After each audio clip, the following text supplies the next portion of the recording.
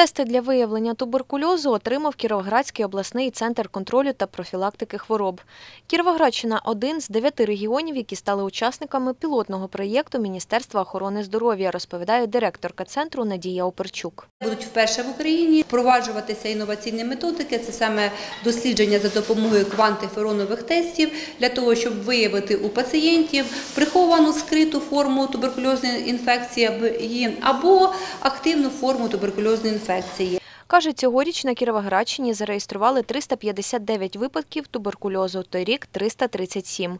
Показник виріс на 6,5%. Ситуація з туберкульозною інфекцією в Україні, в тому числі в Кіровоградській області, вона напружена. В період воєнного стану, враховуючи велику міграцію населення, ми відмічаємо ріст туберкульозної інфекції. Туберкульозна інфекція вона буває різних типів, в типі вражає різні органи і системи. Саме такий поширений це туберкульоз органів дихання, який в епідеміологічному відношенні він є найнебезпечніший.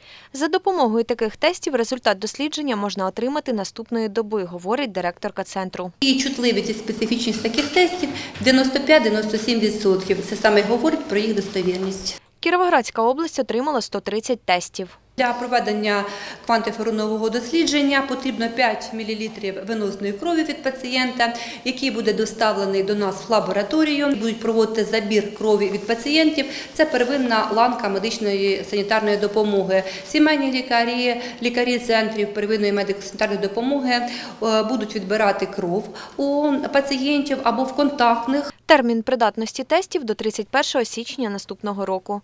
Олена Жикалова, Ірина Полулях, Роман Сташенко, Суспільне новини Кропивницький.